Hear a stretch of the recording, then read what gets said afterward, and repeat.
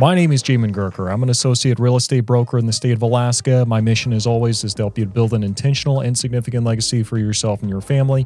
And today we're talking about the real estate market in Eagle River, Alaska. Now, for those of you who have been watching for a while, you know the Eagle River is a um, kind of a quasi small community that's, um, I don't want to say it's a suburb, but it's a uh, community on the northern part of Anchorage. And um, quite a bit of business does happen in this area just because it is such a desirable place to live. And so, for that reason, we're going to be talking about what's going on in this small market here and um, really looking at the single family residential, condo, and the multifamily markets. Before we get started, though, make sure you give this video a like, subscribe, do all that good stuff, and let's go and jump into today's market update. All right, now the first thing we're going to look at is the single family market. And the first thing we want to know in the single family market is how many properties are actually available on the market compared to this time last year. Well, last year there were 53 properties available on the market for the month that we have the most completed data for, which is going to be for uh, the month of August. And this year it's 63. So seeing a small bump in the number of in the amount of inventory we're seeing this year as compared to last year. So that's that's a favorable indication. Let's take a look though and kind of see what the historically what we would expect to see around this time of year. Because prior to COVID, we would normally see about 100, eh, we'll say about 140 up to about 180 some properties available. So we see 63 still trailing far behind what we would normally see in the inventory for Eagle River for single family homes, but that's still a positive step in the right direction. So I'm going to count that as a win. Now, the next thing we want to look at is what's going on in the number of properties that have actually sold in Eagle River for the month of August. So we see that this time last year, there were 42 properties that sold, and now there's 53. So we are seeing a bit of an uptick as well in the number of properties that are actually selling in Eagle River, which does mean that there does continue to be a, a pretty good demand for properties in Eagle River. And if you take a look at some of the tours I've done of the town in 360 video and some of the discussions I've had about Eagle River, you can definitely see why this is the case. Now, Again, historically, let's look back here. Um, usually, about this time of year, we would see about 50 to about 64 at the high water mark in 2018. So we're kind of par for the course right now because usually we would see in the number of, uh, of 50s for the number of single family properties that are actually selling. So um, I will again take that as a win. All right, now for the thing that I know everyone really tunes in for, and that is what's actually going on in the average sold price. So we see in the average sold price this year that it went from about 496,000 to about 508,000 this year, which does mean we're seeing about a 2.33% increase uh, for the year to date for the average sold price. Now, average sold prices you know, we're dealing with a smaller sample size than we usually would. So it's a little hard to extrapolate clear meaning on exactly what all that means. But what this is a clear indication of is that across the board, we still are seeing an increase for the average sold price for properties in Eagle River. And this is like following on the tail of having a couple of years of really aggressive appreciation because we go back to, well, you know what? Let's go year to date back in 2021. We saw about in, well, you know what? In 2020, we'll do it this way. It went 2.71% increase for the average sold price. 2021, the increase was 8.3% increase average sold price. In 22, um, that was our high high water mark. There was about a 10% increase for the average sold price. In 23, it started to settle down a little bit. We don't want to be in double digit appreciation for very long at all because that does create a lot of volatility in the market and I'm not too concerned about seeing steady appreciation over time because that's that's predictable and that's what we want to see and that's healthy and it's unhealthy when you see the market just going gangbusters and taking off too quick. So things are starting to settle down a little bit in 2023 it went up about 6% and this year we're about about back to that at 2.3%. So that's actually about where we want to see it increasing. I'd like to see it a little bit closer to about 3 or 4%, but I mean, that really is kind of par for the course for Eagle River. So things kind of are settling down, but that doesn't mean the market's going backwards. So if you're one of those folks that are waiting for the market to collapse or wait for these prices to, to soften up, that unfortunately is just very unlikely unless the entire economy collapses at this point and real estate is just happens to be one of those sectors that gets impacted. But that is what we're seeing for the single family stuff. We'll talk more about this stuff in the summary. Switching gears a little bit, let's go and take a look and see what's going on in the condo market here in Eagle River. Now, condos they're in Eagle River and they're definitely kind of centered around kind of the, the, the thoroughfare area along the Old Glenn Highway and where most the, the commercial properties are. It's not a big, big part of the market right at the moment because once you get a condo in this area, you really don't want to let it go. So even though we've only got a couple on the market here and there, it's, you know, there's uh, the kind of looks are deceiving. It would make you think there's only like one condo association. There's more. People just don't want to let go of them very often. Now, with that being said, though, we're seeing that the inventory for condos in Eagle River went from four this year to five this year for the number of condos that are available on the market. Normally, we would see somewhere closer to about 40 to like 30 or so condos available. It fluctuates all over the place uh, for a lot of variables, um, not the least of which being that we do have new condo associations coming in. So that obviously can spike the numbers on some years. But uh, what we're seeing is yes, the available inventory for condos still a lot lower than what we've seen historically. The next thing we see is the number of condos that have actually sold in Eagle River went from seven this time last year to six this year. So we're not seeing a big shift one way or the other. Normally, around this time of year, we would see about anywhere from 10 to 6 condos being sold. So, not a huge difference here, one way or the other, because I mean, condos are still pretty desirable commodity in the area.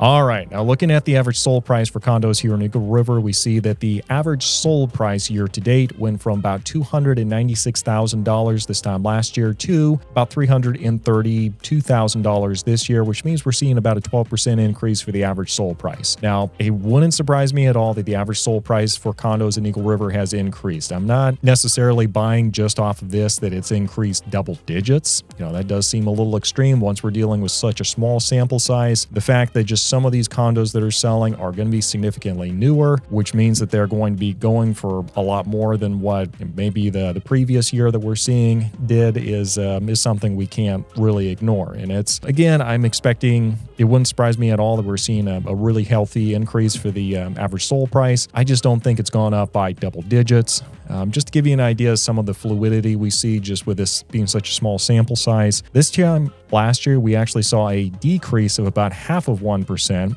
but the year before that we saw about an 11.34% increase, and the year before that, rounding up about a 9% increase. And as you can see, these numbers kind of just go back and forth, back and forth, back and forth. So, I mean, that really just tells me we're dealing with more of a small sample size. It would not surprise me if it's been steadily increasing, but just because we do have some of these newer condos that might be a little bit bigger coming onto the market. Um, I think that's really having the impact on these specific numbers.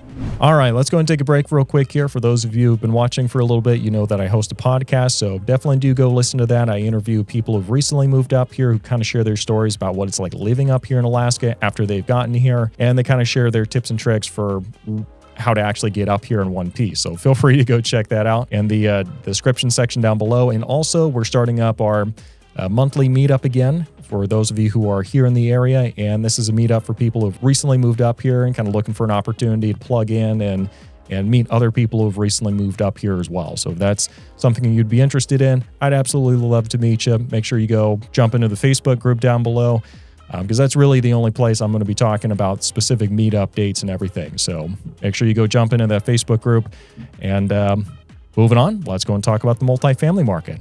All that being said, we see that the number of multifamily properties that are actually available on the market was two this time last year and four this time this year. So that's that's a good step in the right direction. Usually around this time of year, we'd see about 12 to 13 properties available. So we're still a long ways off from where we normally are, but that's still a good step in the right direction. All right, so looking at the number of properties that have actually sold in multifamily, we see that this time last year there was one multifamily property that sold, and this year for the month of August, we see there is one multifamily property that sold. So not a whole lot of changes there, one way or the other. Normally around this time of year, you know, that's kind of par for the course. You know, we may see one, we may see two. Not a big surprise there, one way or the other. All right, looking at the average sold price, um, I'm going to go through this and then we're, we're going to unpack it a little bit. So this time last year, the average sold price year to date was about 429,000 and this year it is 653,000. So that's correct. We did see an increase for the average sold price of about 52%. And this is the biggest swing in average sold price of any asset class um, really for all the markets that we look at so far this month. And what I would say is let's not get too excited because multifamily covers everything from the little duplex that may or may not have actually been originally designed to be a multifamily all the way up to the big 30 or 50 unit commercial property that uh, that's obviously um, going to be throwing off all of our numbers because that's obviously going to be a lot more expensive than the little duplex, but it throws all of our numbers off here. So, all that being said, it would not surprise me if we saw an increase for the average sold price for multifamily properties in Eagle River. I don't think it's by 52% compared to the year before, though. So, you know, maybe don't take that to the bank. All right, so let's go ahead and unpack this stuff a little bit and kind of give you the summary if you are looking at it as a buyer or a seller. So, number one, if you are a buyer, this does start to give me a little bit more hope that we're starting to see more properties available on the market than what we've seen in previous years. I am not expecting to suddenly see a ton of properties coming onto the market anytime soon.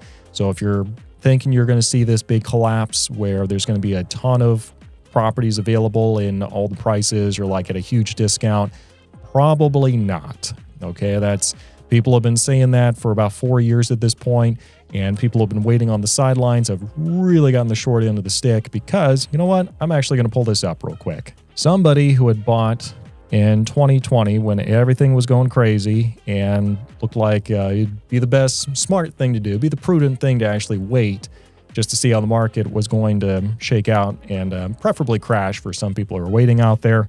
Average sold price at the time was about 391,000 and right now it's about 508,000. So the average sold price has shot up significantly since then. And for that reason, I tell a lot of people, you know, probably your best bet is just jumping in as quick as you can and planning on staying put for as long as you possibly can. Because investors will tell you it's not timing the market that is actually going to help you, you know, uh, make the numbers make sense. Is spending time in the market that actually does make the difference. So if you're one of those people that think you're you're going to just outsmart the market and time everything correctly, just just live your life. you know, just just live your life. Um, if it makes sense for you to buy right now and you can financially do it, you know the justification is perfectly there as long as you're going to be staying here for at least two to three years and um, if not, then you know we'll talk and see if it actually makes sense for you to be looking at it. If you are a seller in this market, it's not the market that we had a couple of years ago where you could just hardly do any work and throw it on the MLS and you've got multiple offers and you're going back and forth. It's not the market that it was a couple of years ago. Okay, you have to make sure it's priced correctly, and we have to make sure that you know it's staged well and we're doing everything ahead of time to make sure that it looks at its best before we put it onto the market. Okay, we can't just throw spaghetti at the wall anymore and hope something sticks and we're going to get multiple offers.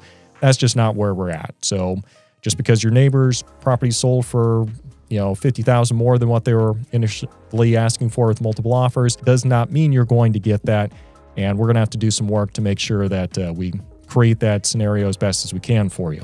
So this has been your market update for Eagle River. Thanks for watching. We'll see you next time.